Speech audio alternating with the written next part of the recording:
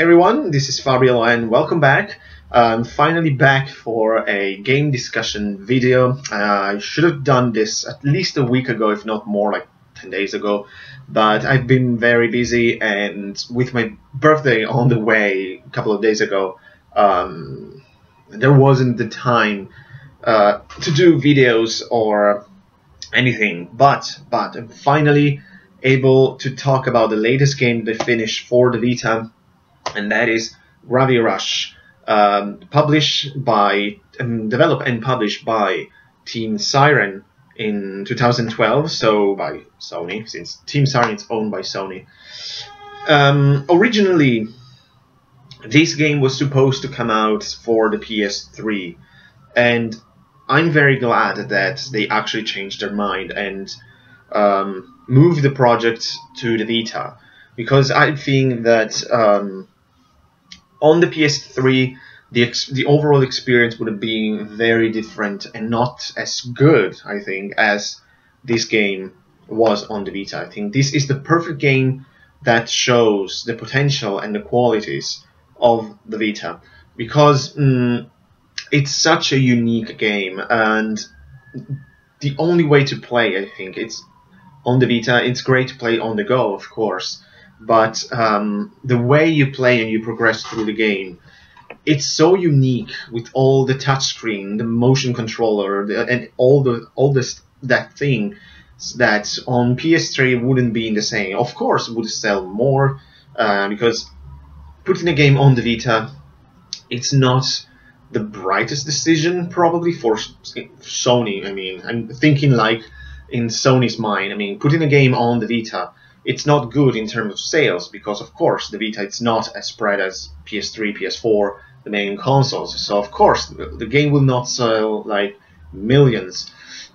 But that's not it. Of course, it's the usual story. We have to remember these are companies. The only thing that they care about is profit, profit, profit.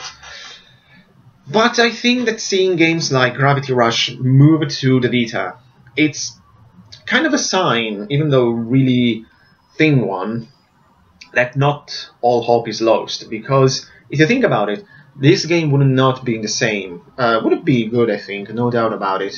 Because I'm sure there was amazing talents working on it, but um, I think on the Vita, it's the perfect way to play it. Um, as I say, mainly because of its unique gameplay way, as we'll talk later about the gameplay. But let's start with the story. I'm trying to follow my usual pattern. And story-wise, I have I have to be honest. The story to me was kind of the weakest thing in this game. It was not bad, and it didn't ruin the overall experience. Absolutely not. Um, but that's why I think that we absolutely need a sequel, and I think it's coming. But we'll talk about it later as well. But basically, uh, you are this girl, Kat, that at the who at the beginning of the game basically falls down from the sky or something like that to this weird city of uh, Exville, as it called, some Exenville, something like that. I don't remember well now, but a city that, as the back of the cover said, like uh, it's falling apart because of these gravity storms or this gravity sea that it's sometimes a part of the city it's falling down into this void and Kat at the beginning of the game encounters this weird cat uh, called Dusty that she decided to call him Dusty, which is a really weird thing. I mean, this sort of galaxy in the form of cat. I don't know. Uh, that's one of a thing that I love about this game. It's so cool and so weird at the same time. I loved it. And while encountering this uh, animal, this weird, really weird animal, she discovers her powers to shift gravity uh, bend gravity, we can say. It's a tribute to Avatar. Uh, she's a gravity bender. she can manipulate the gravity. So she can fly, she can walk on uh, walls and stuff like that, upside down, and, and explore this massive city and also enters like other dimension in order to find the pieces of the city while discovering some evil plot by certain people and free others. So this is just a general idea. I don't want to talk too much about the story, but it's not there are so many spoilers because as I said, the story is not very clear in a way. I mean, there is this general story that you're following, which is like this adventure of Kat's, but there are so many questions left unanswered to me. I mean, for example, who is she? We don't know that. I mean, yes, she's Kat, but where she's coming from, where, uh, how, like, the most basic question, what is a shifter? I, I, I haven't seen an answer to that, or at least maybe it's just me, but it wasn't that clear. I mean, it was just learned, oh, there are, there are certain people who can actually manipulate gravity, who are these creators, for example, because in the story we presented two individuals who are certain like uh, godlike entity who can I don't know open portals to other dimensions or I don't know it's, it's so weird and it's not explained very well but the story kind of like follows this really linear pattern and it's not bad I mean but I think that it's not the main reason why playing the game. Of course, if the game the story was a bit more complete, it would have been great, but it's okay. I liked the story where it went. I wished for something more, but that's just me, just wishing. I know that I hope at least that a sequel will come and will explore this, like this world and these characters a bit better. Um, but as I said, it's not the main reason because this is a action platform uh, open world game with RPG elements. And basically, the reason why to play Gravity Rush is, of course, the gameplay. Um, as it shows, as I said before, how awesome a game on the Vita and original at the same time a game on the Vita can be because I uh, recently, at least, but even in a long time, never played games so unique in terms of controllers, in terms of exploration. Like, uh, I'm not a huge fan. I don't mind them, but I'm not seeking them like open war games because uh, I prefer to follow a, a, specific story, a specific pattern. But like I play Fallout or uh, Skyrim on, and Gravity Rush, like in terms of open war game, and where you can get lost exploring, and that's cool sometimes. But overall, sometimes I was going around looking for like gems in these games, and afterwards, well, let's go back to the story. Like I wanted to follow the story, even though I explored the world. Progressively, you uh, unlock parts of the city so that you can explore it more, and it's massive by the end. It's really big and uh, shows like how gorgeous this game on it's on the Vita. But its unique controllers, it's really, really good. I mean, it's so much fun to shift gravity. Basically, and it controls very well. It's not too overly complicated, luckily. Um, basically, you can uh, do almost whatever you want by shifting gravity. You can go wherever you want. Um, like uh, the top of a skyscraper, the bottom of the city, that it's like flying around on nothing. That's the world is so weird. It's such a weird game, but uh, you can explore this massive world freely as much as you want. Uh, there are limits, of course, because this is a PS Vita game, but it shows also like how much horsepower it has. I mean, it this game looks gorgeous because it's cel shaded uh, but also this massive city that you can explore as you will. I mean, that's I was kind of impressed and wow. But I kind of know that the Vita it's a very powerful console. I think this I read somewhere this game was developed to show like how cool the Vita is. I mean, you can play this way. Like you can, you have to use the motion controls, like, like bend the Vita like this while you're sliding, for example. You can use the touch control for certain actions um, it's or also like uh, moving the Vita, like when you're attacking or something, rather than use the sticks. Um, I don't have my Vita here; it's over there. But using the sticks to move the camera. Um, but to simplify or um, do it faster, you can just move the Vita upward. For example, if you have to attack an enemy, that it's up to you. Like and then use like gravity kicks or special moves. It's such a cool uh, concept, and it works perfectly on the Vita. For example, it wouldn't work on the PSP because of its limits, like it doesn't have two sticks, and of course doesn't have the touchscreen or something like that. So, so I, I also don't know how would it work on the PS3. So of course, like the PS3 has more buttons in general, but I don't know. Again, I'm really glad that this game's on the Vita.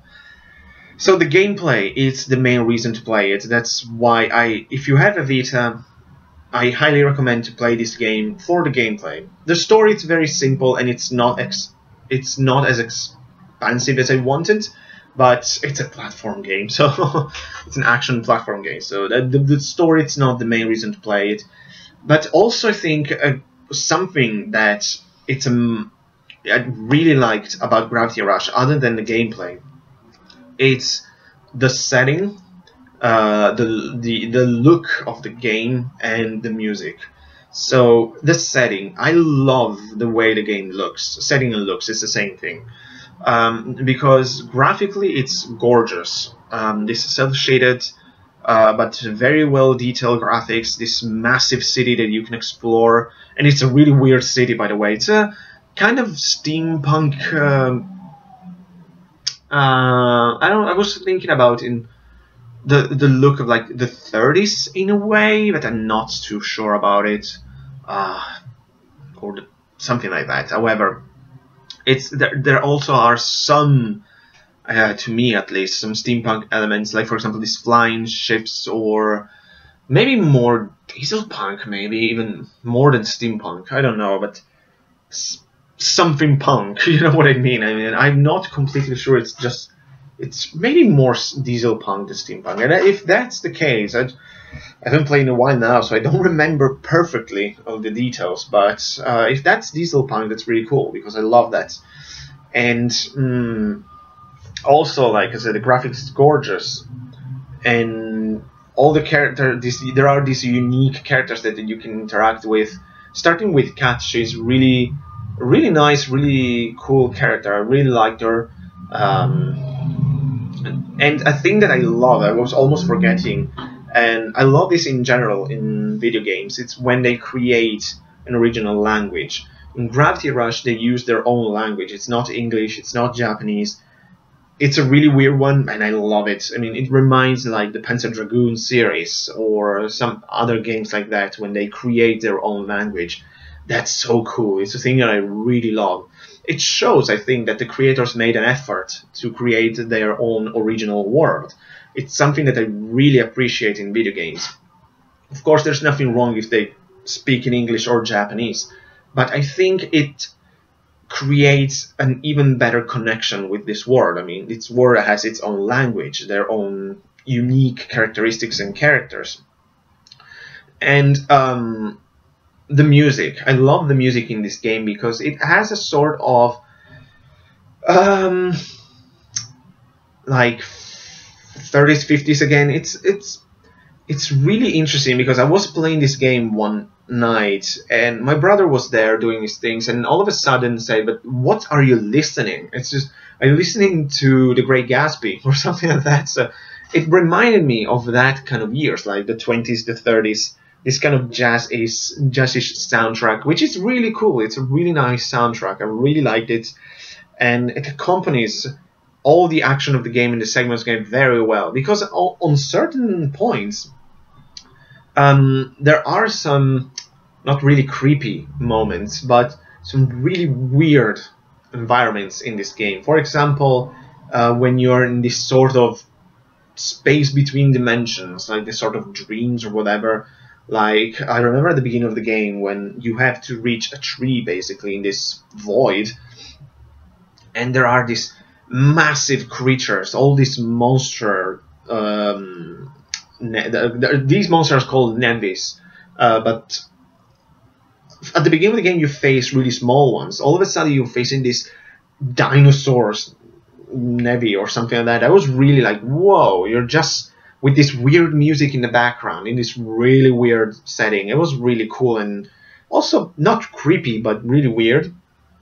And probably the coolest and weirdest at the same time part of the game to me it's when you're falling down from the city um, to reach the arc Basically, it's not a spoiler, and basically at one point uh, you are literally falling down from the city towards the center of the earth or something like that, and showing that this city it seems almost like it's standing on a tree or something like that. You're falling down to this really bottomless pit basically. It's so weird with again this a really weird and uh, strange music in this really weird place. That was really cool. It's something that I liked very much. I mean as I said it, the game is absolutely unique and that's of course a really um, good point for it because um, it's always good to play something original here and there but it's not that I play the same thing over and over but it was a really nice change of pace for the game I usually played, and I try to vary it as much as I can. Um, and I'm really glad that I picked Gravity Rush because, um, but I, as I said before, um, I mean because it was a lot of fun in terms of gameplay, absolutely unique and original, but also with this gorgeous setting and really cool characters. But at the same time, I wanted more, especially the more I was progressing towards the end. Um, I was like, I want more in terms of story because this is just basics in a way. It's good basics. I'm not criticizing because, as I said, it's not the main reason to play this. It's not that it's an RPG or whatever. There are RPG elements that since you can level up Kat's uh, skills, basically, I don't know, like your life, the amount of gravity that you use, the power of your kicks, the power of your gravity kicks, and so on. So, um, but I wanted something more, more a deeper story. But I think that I hope at least that Gravity Rush 2 will give us that. I mean, I think that um, we should explore more these characters and this world. Maybe going, so, doing something more than the simple city of Heskyville um, well, that, that's already a really big environment, but also expanding a bit more, expand the cast of characters. For example, I would love to use more shifters than Kat alone. For example, in the game, there's another important one called Raven, and I would love to use her because she's really cool. Or uh, oh, I don't remember the name of the soldier at the end, but also like use more characters, not Kat alone, and explore more like who are the shifters? So just a basic question like that to me was kind of left an answer. Like uh, who, what the hell is Dusty or Raven this um, sort of avatar animals who probably are the source of Kat's and ravens power? So more about that to explain this world a bit more it's so weird. Um, also, it would be cool to introduce other shifters. So I really, really hope that, well, it, I think it should come. I, I, don't know how successful the game was. I hope it was because it, it, it, it deserves it. It's a lot of fun. It's a really fun platform game, open world platform game on the Vita. I think everybody should play it because not only shows how awesome the Vita is, but you don't need Gravity Rush to that. The Vita is awesome, but it's such a unique and original experience that it really deserves to be played to me. but also, it's so original. especially in terms of controller. The story is nothing mind-blowing, as I said. It's really basic, really simple, and it deserves something more. But it also looks so good that um, I'm really hoping that they're not developing the game, the sequel for um, PS3 or PS4. The game should stay on the Vita because, in a way, I think, um, in a way, it's a sort of Mario of the Vita. This game, I think, was developed to the ground. Uh, other than the initial project, this was called Gravity, Gravite, or something like that. Um, was really developed to show what the Vita could do. So just keep it that way, Sony. I think that uh, just explore this world and the story a bit more. That would be amazing. Just keep the same controllers. I mean, the game. I think the controllers are really good. Not only uh, talking other than like originality or uniqueness, just like it controls well. I think I never had problems. Um, during the time I played the game. Um, control Kat very easily. Um, sometimes can be a bit frustrating when you're flying around. You have to hit enemies that are flying all over you. But hey, that's uh, so it's only uh, in a certain specific situation that there are so many enemies that are it's difficult to avoid them or hit them. And maybe you can even skip that by flying away or something like that. So, um, yeah, mm, I don't know what else I can say about Gravity Rush. Um, I hope I'm not forgetting anything. Uh, I'm sure you can find this easily on shops or online for a, a good price. I didn't spend much. I spent around ten pounds. So, uh, highly recommend Gravity Rush on the Vita.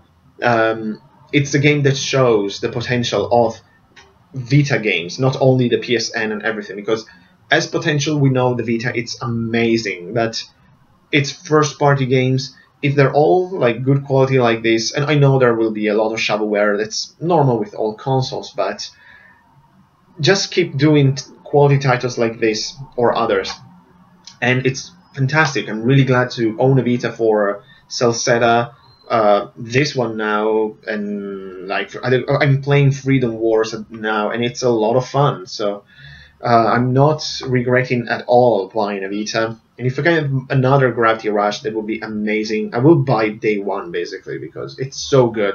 I will definitely, I really want to look at a art book or something because I love the style of this game. Like as I said before, like the look of the game, it's so good looking. I love this really weird city, but with these unique characters. I would love to find a art book. I still, I'm not sure if there is one. I look for it because it's, I really want one since it's a gorgeous looking game and it's so cool to look at it. That's it. I don't think I can add anything else. These are my thoughts on Gravity Rush. Absolutely a must for the Vita. Uh, especially if you like platformers, but in general, if you have a Vita, you need to play Gravity Rush because it's absolutely essential, I think, in this collection. So, like always, guys, thanks for watching. I'll see you next time. Take care.